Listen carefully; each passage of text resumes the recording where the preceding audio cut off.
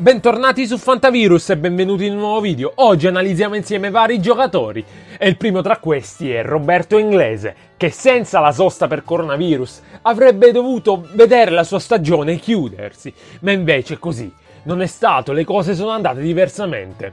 Ovviamente al momento non è al 100%, ma sta cercando di trovare la condizione migliore il prima possibile per prendersi il posto da titolare contro un agguerritissimo Cornelius quindi notate bene che il rientro non sarà lampo dalla prima giornata, ma verrà gradualmente nelle giornate successive.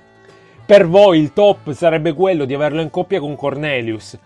Però, se avete magari il solo Cornelius e non sapete se prendere inglese, sappiate che potete farne anche a meno. Però se lo, volute, se lo volete a tutti i costi, non toglietevi qualcuno che gioca titolare, perché non smetterò mai di dirlo, in questo campionato giocato d'estate con partito ogni tre giorni ci sarà molto turnover e voi non dovete mai giocare in 10. Restando in casa Parma troviamo un recupero importante in porta. Torna Gigi Sepe, candidandosi prepotentemente ad essere il titolare della porta del Parma. Quindi se avete Radu e non l'avete ancora svincolato, se potete, è ora di svincolarlo.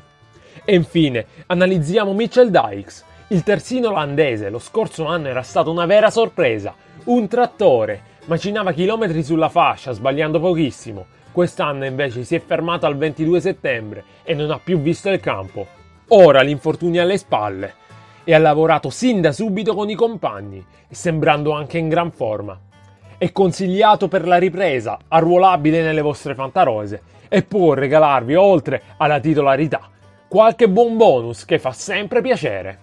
Bene ragazzi, il video finisce qui, vi invito a mettere mi piace, a iscrivervi al canale, noi ci vediamo al prossimo video.